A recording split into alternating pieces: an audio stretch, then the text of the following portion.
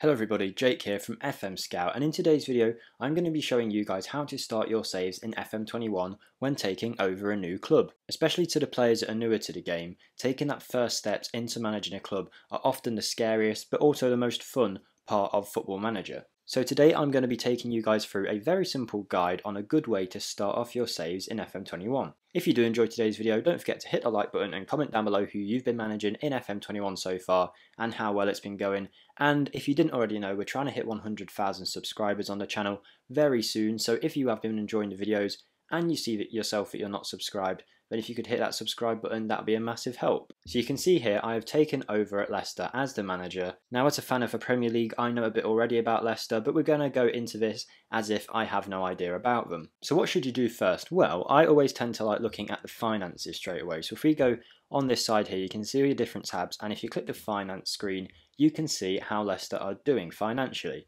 We can see that they've got £33 million of balance in the bank, which is obviously pretty good. And they seem like quite a financially stable club. You can see there's a quite a high wage budget, not that big of a transfer budget for Premier League teams, but this is due to the whole coronavirus situation. Obviously, finances will help you do everything from stadium expansions, facility upgrades, getting new staff in, playing payer wages, and of course signing new players. So it's something that you always do want to keep an eye on. So you know where you stand. Like if you see that your finances are okay, like Leicester's here, we don't have to worry too much about quickly selling off players to balance the books. But if you see that your club's balance is very much in the red and in debt, then you probably need to do something about it. So once you know financially how you stand, that's probably going to help you know how you're going to go forward with the club. But before you go looking into your team, I think it's a very good idea just to hit this transfer button here and then hit clauses and you can see if there's any clauses you can sell to quickly make your team some money.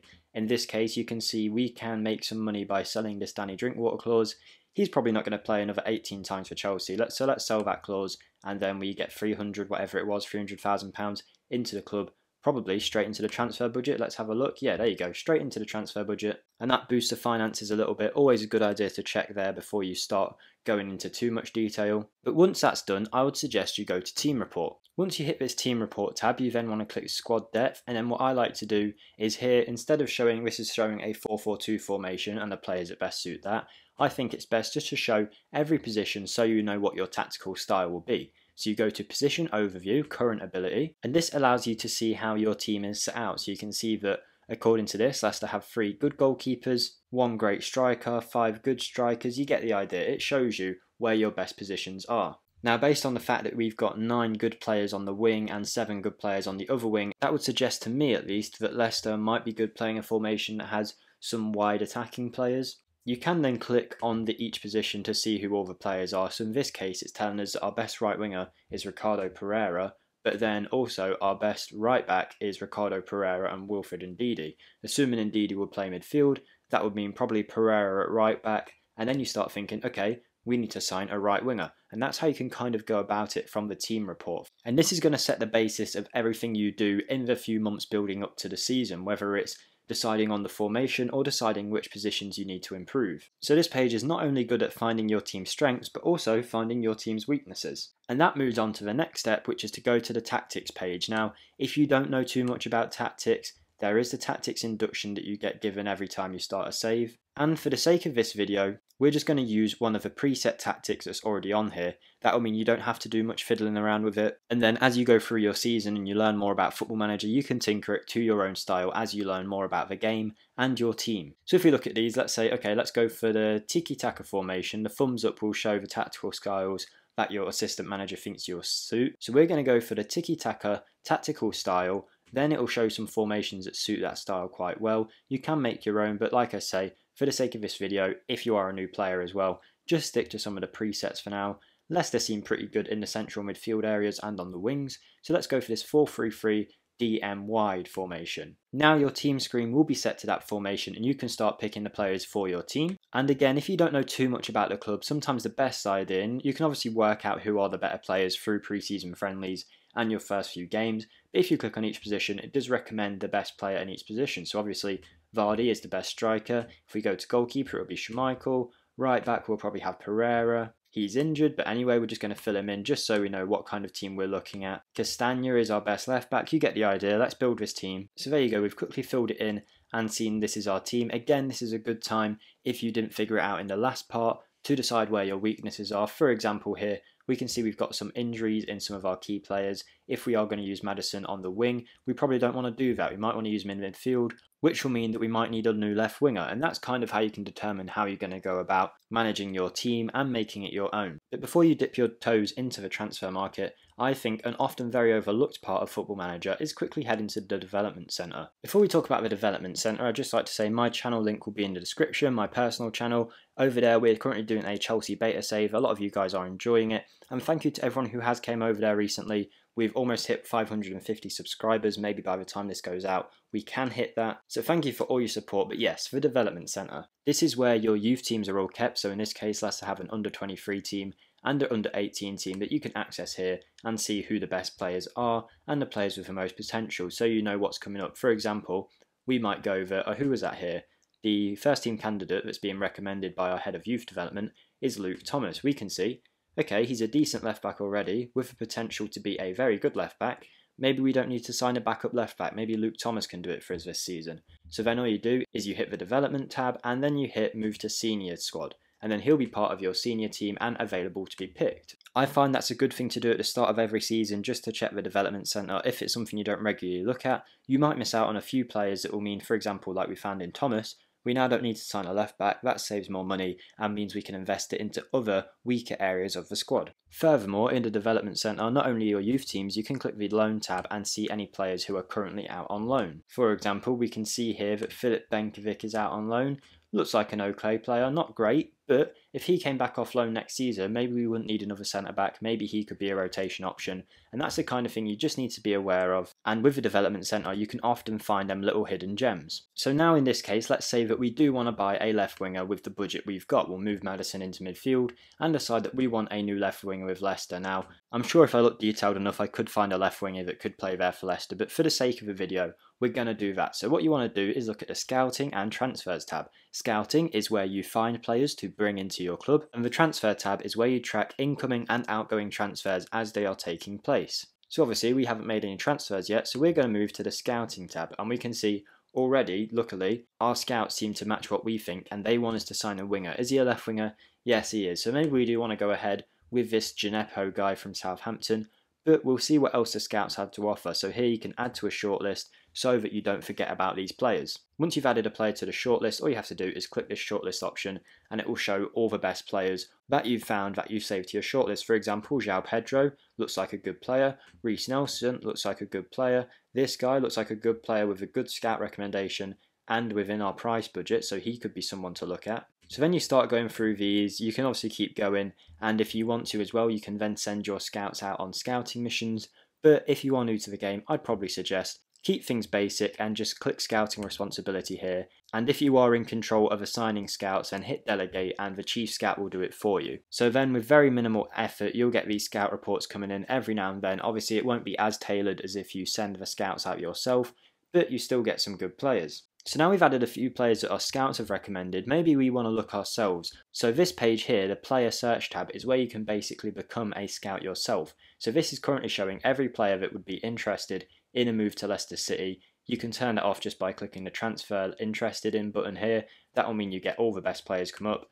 Let's just click interested in transfer and then we can also adjust our search to look for only loan listed players. This will save us money in the long run and what would you know, we've just found someone who could potentially benefit our team this season. We've got Emil Smith Rowe here from Arsenal Maybe he could be a left winger for us. You probably wouldn't need to get him if you're a Leicester manager, but for the sake of this video, we're going to go ahead and try and get Emil Smith Rowe into our team. Especially with a £1 million budget, loans are a very good way to get players into your club in Football Manager, so we'll go ahead, we'll make an offer for the loan. It matches what Arsenal want, and they're pretty much 100% guaranteed to accept that loan. So you've identified your targets, you've got some players coming in, you're happy with your squad, what next? What would you go for next? Well, I hit this staff tab and start looking at the behind the scenes at the club and what can be improved. For example here we can see that Leicester aren't too bad in terms of their coaching, but we can see here that their physios are quite low. Maybe they need a physio, you look up and you see that they're actually missing a head physio. Visio? Physio I meant. Now there are two ways you can go about this. You can place an advert for a physio and then wait a few days until interested parties come in, or you can use a staff search screen which is up here where you can filter through and identify the best staff possible. So we know we want a physio. Let's go for a physio that is not employed, wants to be a physio, of course, and then attributes. Let's look for the physiotherapy stat and say you want a physio with 19 physiotherapy. There we go, we've narrowed it down to three people, one wanted by Arsenal. This guy looks like he's wanted by quite a lot of clubs. Let's see if we can approach to get him in our staff team. There you go. Obviously whistle it down, don't pay this much for a physio, but we're just going to do it for the sake of the video. And there you go, that is your staff tab looked at. You can sort that out. I would say staff comes after transfers, but a good staff and a good coaching team, scouting team, all of that is very good in helping your club become successful. And that brings us on to the training tab. Now, there's a few things you can do here. I'll be honest, I think for a starting player, training is very complicated and quite scary to look at. It's not complicated once you know what you're doing, but there are a lot of screens and a lot of things to keep your eyes on. And I would suggest personally, and some people will say that this isn't the way to go about it, but I personally would click this button here and delegate your training to someone else. Now, I'd keep individual training onto yourself, but for now, this will mean that someone else will take over your training and you can do the individual training. If you want to take a deeper interest into training, there will be a training guide on the channel soon, so you guys can figure out the best way to train your squad. But we'll just talk about individual training for now. So for now, Chris Davies, our assistant manager, is taking control of general training. We're going to do individual training, and let's look at this guy, James Justin. We'll go to him hit development, hit training, and we can see that currently he has no additional focus. So this individual training here obviously is just for James Justin, and this is what we've said we want to control. So what we can pick here is where we want him to train, what position.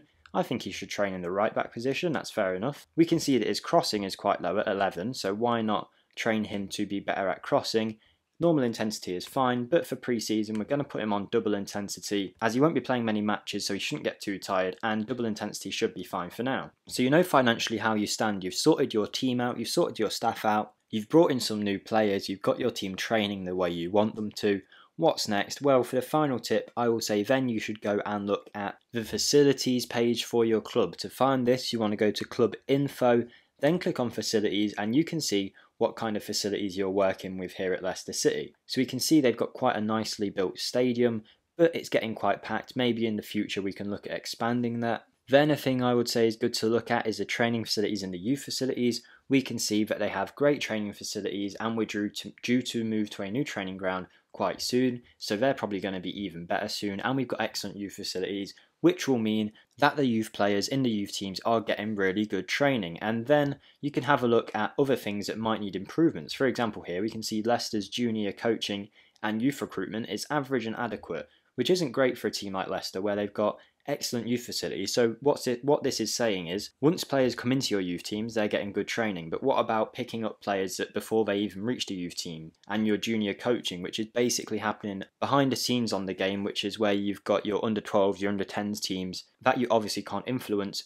but if you improve these facilities, you'll get a better quality of player coming through from your junior academy. So then I think it's always a good idea to go on the club vision page. This is where you can see what the club want you to do, what kind of football they want you to play, what they want you to do in the current season. But there's also this button here, make board request, and I think it's always worth trying at the start of a season to get whatever you can out of a club. Unless they're in a financial crisis, probably don't try it. But we can see that we think we need our youth recruitment improving, so let's try it. We'll say we want to improve our youth recruitment, and then in a few days, the board will get back to you. Now, sometimes if you do have a direct conversation with the board, you can then say to them things like, Oh, I think we'll be left behind by our rivals. If you haven't been at the club for a while, you're less likely to get these things go through with the board, but I think it's a good idea. When it comes up, there'll be an option that says, If you don't grant my request, I'll have to leave my job. Don't ever click that because nine times out of ten, the board actually just go, Yeah, okay, get out then you don't want to do that when you put all your effort in building up a club. And with that being done, you'll have a great overview of your club. Everything will be ticking over nicely, and you'll be ready to continue, go through the days, go through your pre season, and hopefully have a successful season too. So that is the end of today's video guys, hopefully it has been useful for you guys who are new to the game, and maybe if you've been playing the game for a while you at least found this interesting, and hopefully it could have been useful in some way to you guys. So I hope you have enjoyed the video, don't forget to like, comment and subscribe all the best Football Manager content. I have been Jake for FM Scout, thank you for watching and I'll see you in the next video guys, goodbye.